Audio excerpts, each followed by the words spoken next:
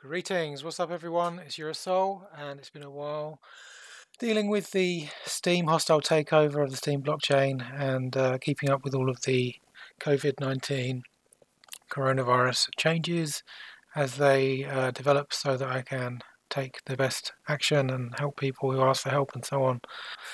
I wanted to take a few minutes here to go through links and data related to the coronavirus in general. I, I just haven't had time to do this and there's been so much information uh, coming through to me through the web, which I wanted to share, and I know that a lot of people have seen it, but still, probably most people haven't seen most of this information. So, and it's very important, I think, to understand this to put the messages that are coming through from the media and governments of the world into the proper context, uh, or at least to provide some alternative narrative to what's being said. With that in mind, I would also like to point out that I am certainly not trained in any biological chemical, toxicological, or any medical field to a professional level. My training is in systems engineering. Uh, so when I look through these, well, when I help you look through these uh, scientific papers I'm going to bring up, bear that in mind. I'm not saying I fully understand everything that's in these papers. I definitely don't. But I am taking references and comments from people who are specialists in this field. Um, and they don't all agree for sure. So basically do your own research, make up your own mind. Really, I'm just drawing your attention to the fact that these documents exist more than anything else. And I'm happy to receive comments from anyone who might be an expert in these fields uh, to add in information or to contradict what I'm saying uh, and to fill in the gaps. And that's one of the great things about the internet is that we can do that. And that's one of the reasons why I post. So please do. If you're a specialist in any of these related fields, then let us know your thoughts. So we're looking here at Bing's tracking map for uh, COVID-19. It's dubious as to how accurate this data is, but obviously, you know, it's not going to be 100% accurate, but it's kind of the best we have, as far as I'm aware, online anyway. Uh, and as you can see, as of today, middle of March, we're seeing here uh, in China, stated 8,940 active cases, uh, 68,715 recovered cases, 3,226 fatal cases. So I know there's a lot of claims and material coming out of China claiming that actually the body count is much higher than that, and they've been cremating bodies non-stop in some areas, uh, and really the government covered up the extent of it. That's quite important as we go forward, tracking the potential development of the disease in other countries, because really China is the main template we have to monitor or model the likely pattern of the disease So if their data is inaccurate and misleading, then all the other data and projections could be wildly wrong as well. That's something to bear in mind. Currently, after China, Italy and Iran are the next highest in the list, with Spain coming down uh, next. Uh, there's a view, few different viewpoints as to why Iran, you know, particularly uh, had uh, high incidence of the disease. Some people speculating that perhaps this was a, a DNA targeted weapon against China and um, Iran. I've posted previously a video from 2010 uh, from the Project Camelot group, which showed that they were talking back in 2010 that a whistleblower had stated to them that a DNA targeted flu uh, virus was going to be used on China in the near future as part of a wider political plan by various covert groups. Um, you know, I'm not going to say that's definitely what's going on here, but it's interesting that the description given to Bill Ryan there was almost identical to what's happening and it you know it wasn't like oh it's going to be a certain type of virus and it's going to be Hong Kong or Australia or wherever it was no it's going to be flu virus in China and that's exactly what's happened. Uh, the image that was portrayed through that testimony uh, seemed to be that they were saying that this was being done as a way to create economic downturn, which this group would then take advantage of uh, through a variety of means which weren't fully disclosed. That was actually a Freemasonry group that, that claimed by that whistleblower uh, was behind this. So, you know, don't have any more info on that, but let's just keep going because there's a ton of interesting information here. Uh, another interesting point that was raised uh, by commenters in the Discord for Steam recently was that Italy and Iran both have a culture of body contact. Iran has a, a custom of triple kissing on the face, I think, as I understand, um, and Italy also very kind of you know, kissy kind of huggy type of culture. Um, so that could be part of why it's being transmitted so um, so much more in those nations compared to other areas. Something to bear in mind. So, next link, which I just came across today uh, from the 13th of March Denmark, emergency coronavirus laws. Basically, saying here that although, like most countries, they're talking here about having some sort of enforced quarantine rules and laws, we have that here in Britain. Uh, they're going one step further here and basically saying the law allow also allows the authorities to force people to be vaccinated, even though there is currently no vaccination for the virus. Now, this goes against medical ethics, it goes against the entire basis of numerous human rights and the entire ethical foundation of medicine, full stop. Um, medicine is to be consensual, not to be forced. So, this is a major red flag, and it's exactly the kind of red flag that countless people have been warning against coming down the line for many years. Um, looking at the way that these groups operate to create problems, engineer them, and then when the world reaches its arms up in despair for a solution, they get to introduce their solution, which was the solution they wanted to introduce all along a problem reaction solution. Why would they want to introduce forced vaccinations? Well, vaccinations are one of the only ways that allow biological control over a human being, um, ultimately, uh, from the inside out. So, to get certain agents and even technology inside people requires a degree of voluntary agreement on their part, usually. Um, so, you know, if people they know that ultimately these groups who are quite nefarious, I would say in nature, many of them, um, they know that most people are not going to accept certain vaccinations, uh, or once these vaccinations are examined, then certainly they'll reject them when they know what's in them. Uh, most people, I think, would reject most vaccinations if they knew what was actually in them. They don't usually take the time to examine the contents. Um, anything from aluminium, mercury, through to various viruses, fetal cells. This it's just stuff that does not belong in a person's bloodstream, full stop. Uh, so anyway, um, I think this is quite alarming. This is the only country I've heard talking about doing this. Uh, and as yet, there is no vaccination for the virus, so they aren't actually doing this. But you can take it that this essentially means that if a virus uh, vaccine for the virus were to be generated the next week, you may see forced vaccinations in Denmark, which literally means presumably police and military with guns forcing people to be vaccinated. So this is serious. This is very unsettling to me and completely unethical. And uh, you know, I I would say the threat generated by the, such a, um, an overriding of free will is more significant than any threat posed by this virus for many reasons.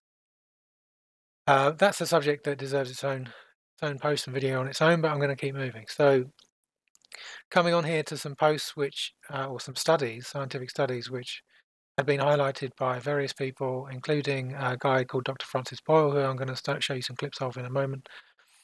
Uh, it seems that essentially there has been scientific research being done um, between the University of Maryland in America and various places in China as well for a number of years, uh, where they've deliberately taken coronavirus uh, variants from bats and then deliberately amplified their effectiveness or their danger level, let's say, in the laboratory, uh, in, in labs across China, as I understand it. And in some cases, actually made a new form of virus, a chimera virus, which includes HIV pseudovirus components. So they've essentially taken some of the mechanisms from HIV, combined it with SARS viruses, um, and created something new that's potentially far more dangerous. And you know, this isn't really part of the mainstream narrative. you would think, or I would think, in a in a sane and honest world, it would be, um, but it's not. However, uh, if you read through this paper, it basically does describe that. Like I said, I'm not an expert in this subject. There's a numerous technical phrases in here that I don't understand. I'm not going to claim that I know everything about this. I'm totally open to specialists coming in and saying, well, yeah, I can see why you're concerned, but this isn't what's happening because X, Y, Z. As yet, I haven't seen that, and we'll get on to what has been put out in, in rebuttal to the claims that this is evidence of the engineering of this virus. Uh, they're not very convincing. Um, interestingly, as I was reading through this, uh, I saw this phrase in here. Uh, the infection was monitored by measuring the luciferase activity, which kind of made me jump a little bit because uh, for those who I'm not religious, I'm not Christian, uh, but I do understand that Luciferianism is a thing, and there are people who worship, worship Lucifer, generally a bit messed up in the head. Uh, looking up luciferase uh, in Wikipedia, it's actually uh, an element that's used to create uh, phosphorus type glowing effects and used in laboratories. So, not necessarily anything nefarious there, but an interesting synchronicity anyway. Um, so, I highly suggest people take a look through this paper and. Uh, but but you know, in a sense, really, I would suggest you listen to Dr. Francis Boyle, who I'm going to bring on in a moment.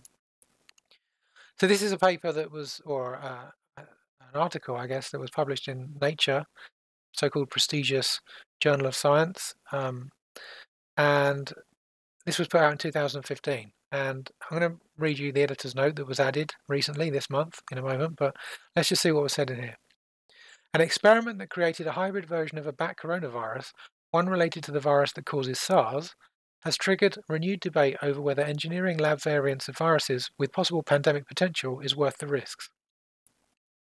In an article published in Nature Medicine on 9th of November, scientists investigated a virus called SC, SHC014, which is found in horseshoe bats in China.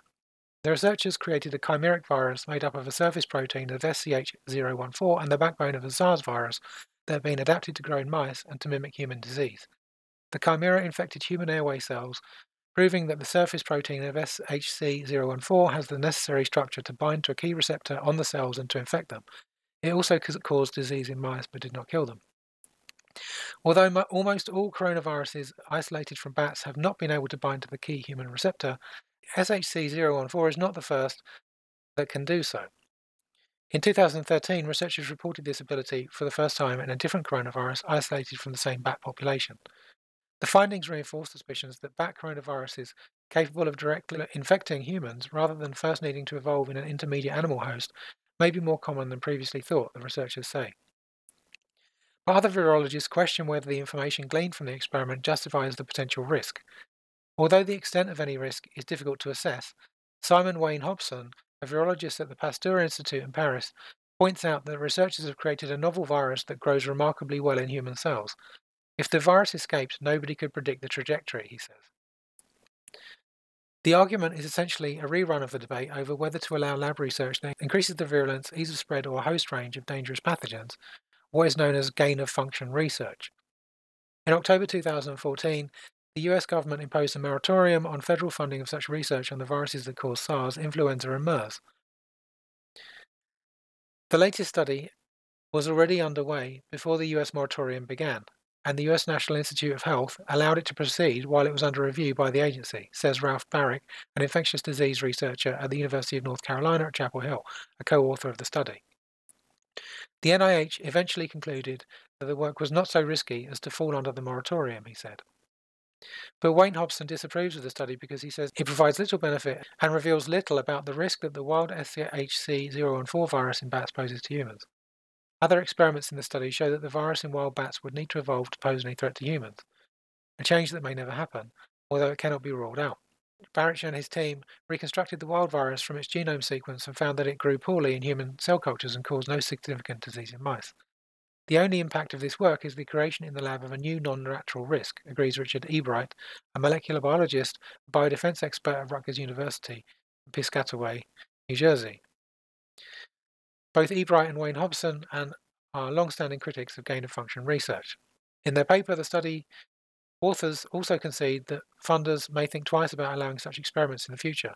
Scientific review panels may deem similar studies building chimeric viruses based on circulating strains too risky to pursue, they write, adding that discussion is needed as to whether these types of chimeric virus studies warrant further investigation versus the inherent risks involved.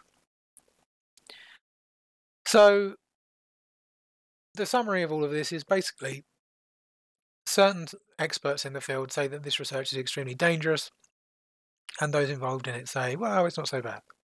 And they've effectively really broken um, US government decision on this kind of research, but which declared that it shouldn't be done, but only because it was started briefly before they decided to do that. So this is one that kind of uh, slip through the net, let's say, of decision making in government.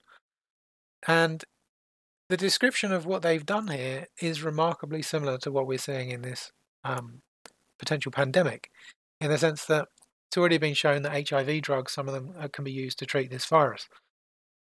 Now, why would that be? I mean, again, I'm absolutely not an expert in this, but if you've got studies here saying, showing, proving that these people were combining uh, SARS with HIV type uh, content, then is it really so uh, much, too much of a stretch of the imagination to say, well, maybe the reason the HIV drugs work on this is because this has an HIV type component to it, this new iteration of the virus?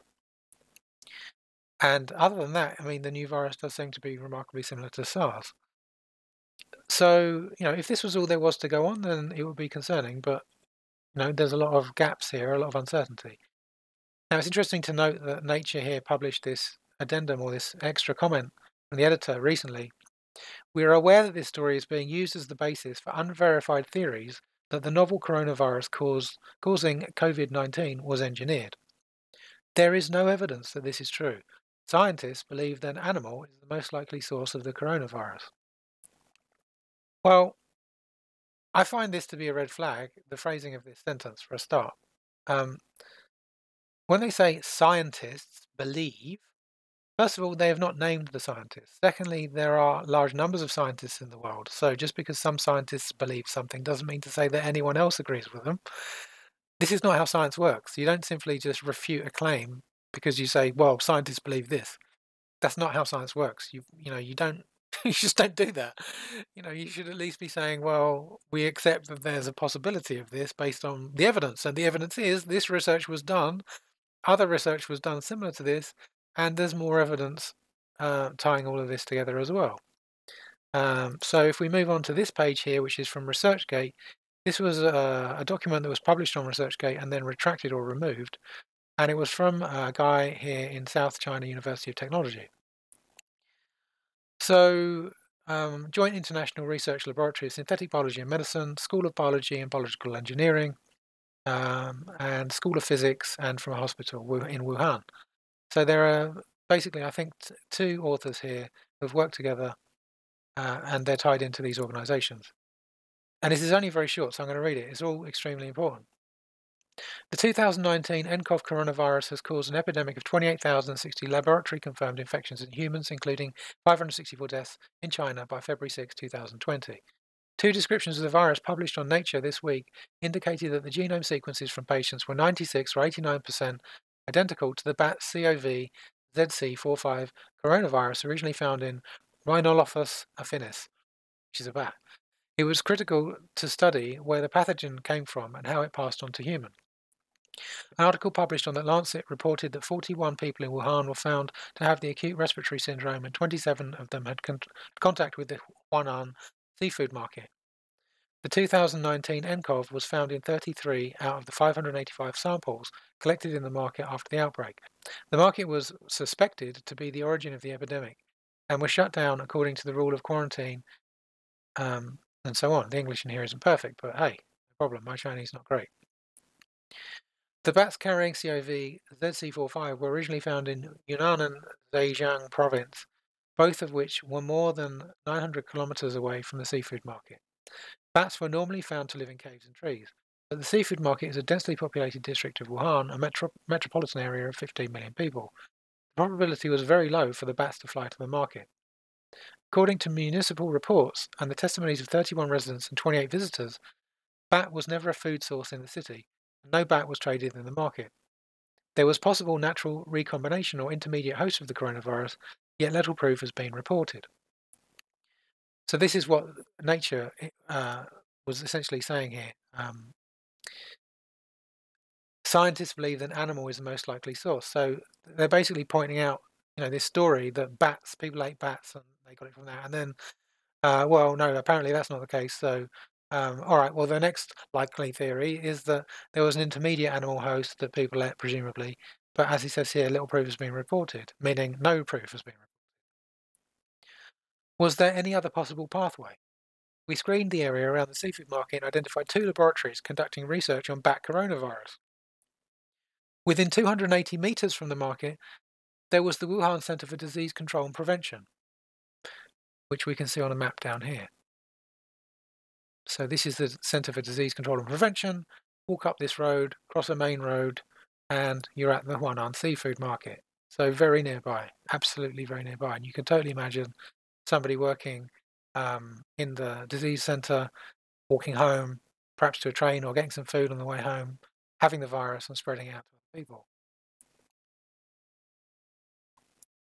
WHCDC hosted animals in laboratories for research purposes, one of which was specialized in pathogens collection and identification. In one of the studies, 155 bats, including Rhinolophus affinis, were captured in Hubei uh, province, and other four, and another 450 bats were captured in Zhejiang province. The expert in collection was noted in the author contributions. Moreover, he was broadcasted for collecting viruses on nationwide newspapers and websites in 2017-2019. So you can actually look down and see mainstream media stories on this work being done. He described that he was once attacked by bats and the blood of a bat shot on his skin. He knew the extreme danger of the infection, so he quarantined himself for 14 days. In another accident, he quarantined himself again because bats peed on him. He was once thrilled for capturing a bat carrying a live tick. Surgery was performed on the caged animals and the tissue samples were collected for DNA and RNA extraction and sequencing. Tissue samples and contaminated trashes were, sources, were a source of pathogens. They're only 280 metres from the seafood market. The WHCDC was also adjacent to the Union Hospital, where the first group of doctors were infected during this epidemic. It is plausible that the virus leaked around and some of them contaminated the initial patients in this epidemic, though solid proofs are needed in future study. The second laboratory was 12 kilometres from the seafood market and belonged to Wuhan Institute of Virology, Chinese Academy of Sciences. This laboratory reported that the Chinese horseshoe bats were natural reservoirs for the severe acute respiratory syndrome coronavirus, which caused the 2002 2003 pandemic. The principal investigator participated in a project which generated a chimeric virus using the SARS CoV reverse genetic system and reported the potential for human emergence. A direct speculation was that SARS CoV or its derivative might leak from the laboratory. In summary, somebody was entangled with the evolution of 2019 nCoV coronavirus. In addition to origins of natural recombination and intermediate host, the killer coronavirus probably originated from a laboratory in Wuhan. Safety level may need to be reinforced in high-risk, biohazardous laboratories. Regulations may be taken to relocate these laboratories far away from city centre and other densely populated places. So this guy really, or I think it's a guy and a woman potentially, have done, I would say, quite good work here. And yes, they accept that they don't know all the answers, but they have done their due diligence and passed on this information to the world. This paper was removed from the website quite quickly, and I do not know what's happened to these people. There's a good chance that they've got into quite a lot of trouble in China for this, I don't know. So, this brings us on to Francis Boyle. And I'm going to play you a few clips from this. He's going to introduce himself and we'll listen to some of what he has to say. I'll leave the link to the rest of this video underneath. There's other videos from him going into more detail, but this is a more recent one. It's the most recent one I've seen. It's from uh, March 8th, and it's with Dr. McCullough, who's quite well respected online, despite having been heavily censored by Google and so on for having viewpoints that go against the mainstream narrative. So let's check out what he has to say. Welcome, everyone. This is Dr. Mercola helping you take control of your health. And today we are joined by Francis Boyle, who is uh, really has quite the pedigree. He uh, had his undergraduate training at the University of Chicago and got his uh, JD lawyer degree from Harvard and also a PhD in political science.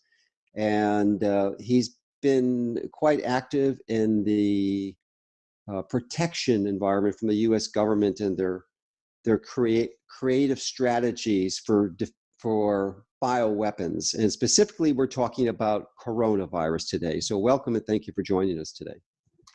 Well, thank you very much for having me on, Dr. Uh, McCullough, and my best to your viewing audience. All right. So uh, the coronavirus um, is a virus that uh, seems to have come from Wuhan. And if you're like me, most of the people in the US probably never heard of Wuhan before, but it's a pretty big city. It's bigger than New York City. There's 11 million people in this city. Uh, so obviously China is a large country which over a, a, billion people, but it's still a large metropolis. It's not some rural urban farming community. So it's affected over 50,000 people in China as we're recording this in February, February 14th. So I'm sure it's going to be more by the time this podcast airs. And um, I'm wondering if you could provide us with your speculations as to how this uh, apparently engineered virus uh, was produced and how it came to be out of uh, Wuhan. Because it wasn't due to bat soup. We know that's for sure. Oh, that's uh, Chinese propaganda for sure. Um, well, let me back up a little. I was the one who uh, called for uh, U.S. domestic implementing legislation for the Biological Weapons Convention of 1972 and drafted it, known as the uh, Biological Weapons Anti-Terrorism Act of 1989, that was passed unanimously by both houses of the United States Congress and signed into law by uh, President George Bush Sr.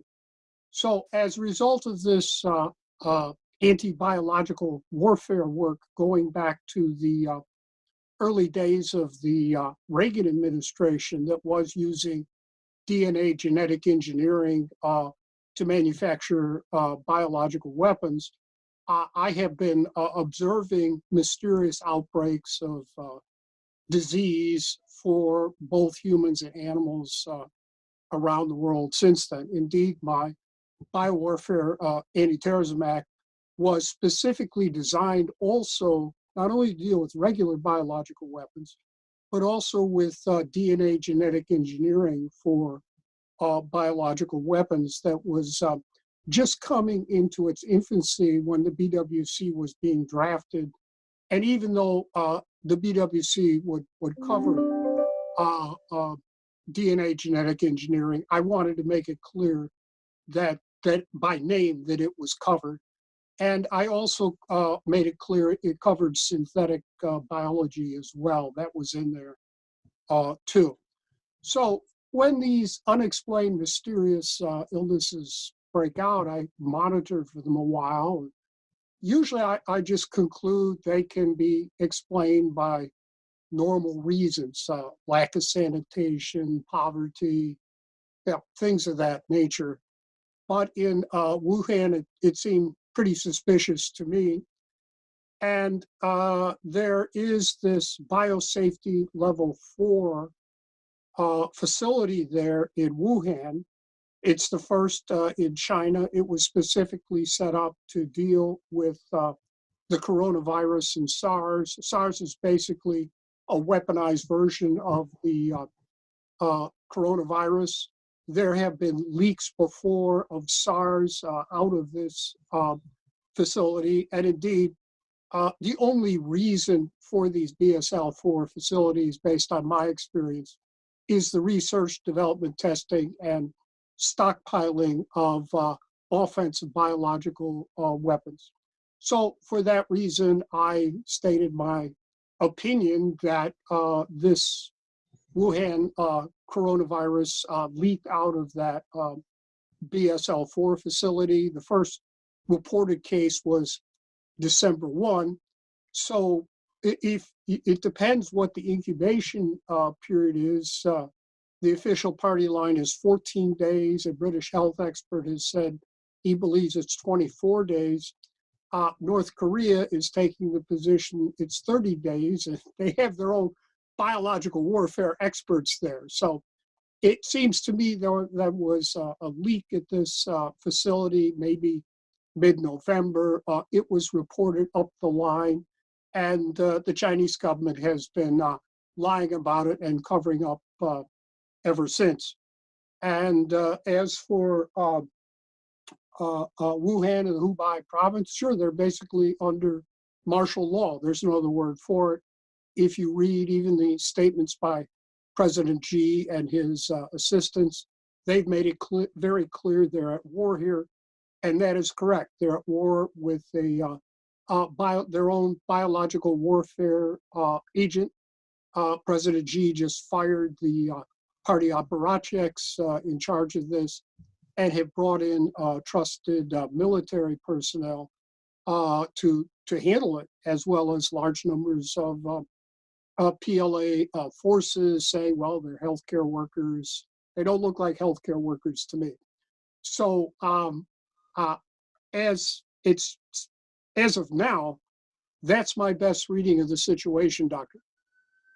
So it, it, appears, at least there's some stories that are out there that suggest that the uh, coronavirus originally was uh, stolen from a, a, lab in Canada in Winnipeg and then brought into China at this BSL 4 facility in Wuhan. Do you have any thoughts on that?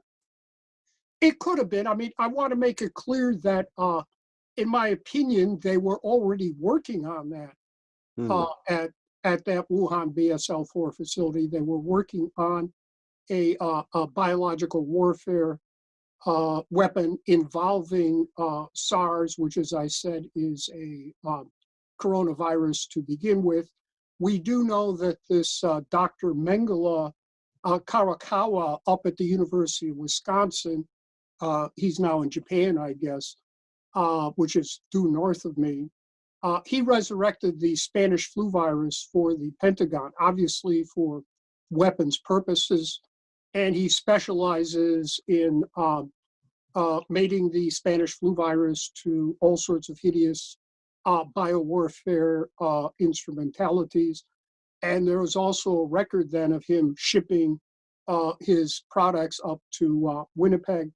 Uh, Winnipeg is uh, Canada's equivalent of our own uh, Fort Detrick. It's a BSL 4 facility. And yes, uh, they research, development, develop, test, uh, manufacture, stockpile every type of hideous uh, biological warfare weapon that we know of. So some of this technology could have been uh, stolen from Winnipeg. Uh, I don't know about that, but as I said, uh, the Wuhan BSL-4 was was already working on this to begin with. They had already developed SARS. SARS had uh, uh, leaked already before two to three, four times, two to three times before this, and it seems that they were uh, uh, turbocharging SARS, which that that's what this looks to be the case. This is a brand new generation of um, biowarfare weapons we haven't seen before.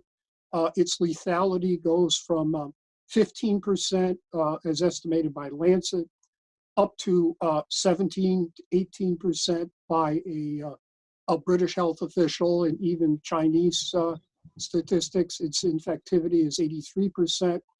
Uh, it can affect maybe three to four people for every every person infected. It has gain of function properties, which means it, it travels through air uh, at least six or uh, seven feet.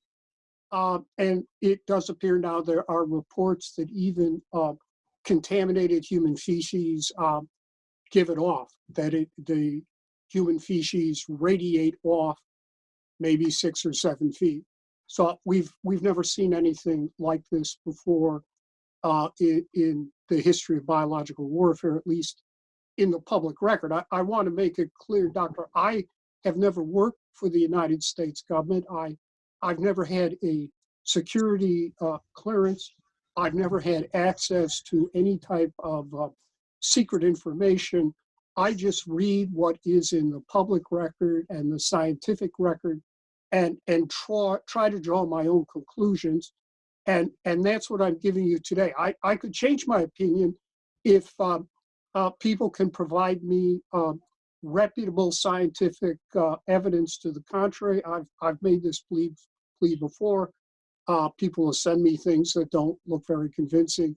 So right now i'm standing with standing by my conclusion that it it leaked out of the uh, wuhan bsl uh, 4 uh, the highest level the Chinese government has known about it. Uh, they've been covering it up from the get go until they uh, informed the WHO at the end of December. So, I'll leave the link for this video under under this one, so you can check out the rest of this. And uh, you know, he's a very interesting person to listen to, and I think it's important for everybody to take in multiple different angles on all this, especially when we have you know this kind of enforced vaccination situation being presented, and we have a whistleblower from 2010 stating that this was a plan all along. Um, I it just saddens me really that there are so many people calling falling right into the playbook of these people quite likely a playbook of problem reaction solution um, not understanding that they're being manipulated quite likely even if this virus was released as an accident even if it wasn't even engineered these entities and groups are just waiting for a moment like this to be able to a- enact certain control agendas which give them uh, a domination ability over the populations of the world for various reasons. Uh, I think centralization is always a problem. The problems that we've seen on the STEEM blockchain that have made it into mainstream media lately as a result of, ironically, someone from Wuhan, Justin Sun, um, taking control of the STEEM blockchain and centralizing it. And that's just one example of how centralization is a huge problem. And, and this kind of enforced vaccination situation is another example of why um, centralization is a problem. Uh, decentralization allows for free will, it allows for each individual to take responsibility. People claiming that we should take responsibility by giving in to doing exactly what we're told don't understand what personal responsibility and free will actually are, and they're actually quite dangerous, um, in my opinion. So, yes, it is necessary in some cases for people to be isolated or to isolate themselves away from other people to prevent people getting ill, to slow down the spread of disease, and so on. Uh, however, when you give in to allowing a group of people to use force and violence to enact that process, it opens the door to such a massive potential for harm to be done by people involved in that that it it's just it's terrifying to me. Um, in China and, and anywhere really, it's the perfect opportunity for political dissent to be silenced. You know, there, are lots of um, uh, strong political movements in China and elsewhere uh, in their sort of empire uh, against the government, and then all of a sudden that was all stopped in the blink of an eye as soon as this epidemic uh, broke out, which I think is also suspect. Um, and I think that ultimately, if you're a dissenter against the voice of an authoritative, authoritarian regime, then a lockdown of this kind is exactly the perfect tool that they would want to use to basically murder you and get rid of you. And I've also reported previously on the Falun Gong movement in China, uh, where there was a whistleblower doctor who testified that he had been forced by the government there to murder innocent people um, who had been falsely accused of crimes in order to extract organs to be used as for organ harvesting on a large scale. So, you know, I mean, I can't say for certain that's 100% true, but we've seen a whistleblower basically admitting to murder uh, from China. We've seen numerous other people claiming this is going on. So, I would not in any way be surprised if this was real and the government over there were doing extremely evil things uh, on a level with Nazi Germany and, and other such groups throughout history. So, given that that's seems likely. It's in nowhere stretching my imagination to believe that they have, or to accept the possibility that they have engineered this situation for their own benefit. So, yeah, I mean, what do we do with all of this information? Well, firstly, be skeptical, question everything. Don't just blindly accept what you're told because it's for your own good, especially if it means being forcibly injected with something um, or you know forced to lose your liberty or something like that um, question everything, and do your best to be self-empowered. Learn about your own immunity, how to modulate your own immune system, how to build your own immune system with correct nutrition, sunlight, fresh air, exercise. Uh, all these things that we need to be doing anyway, whether there's an epidemic or not, that very few people seem to really be doing.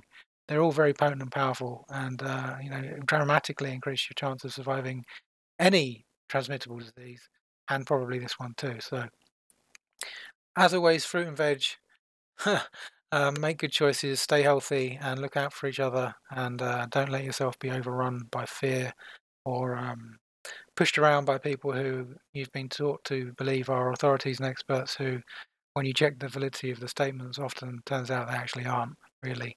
They're not really using the scientific process as it should be used. Um, but, you know, if you tell a lie enough times, then enough people believe it becomes the truth, doesn't it, in people's minds? And that's apparently what these groups rely on.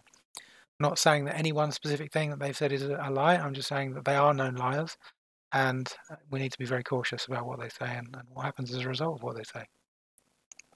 Anyway, I've gone on for quite a while here, and uh, please, let, as I said at the start of the video, please let me know any comments you might have on this, any extra info that I might have missed. And uh, thanks for listening. Uh, please do give this an upvote, a thumbs up, subscribe, and so on. Uh, if you haven't already, if you like the content here. And uh, until next time, peace.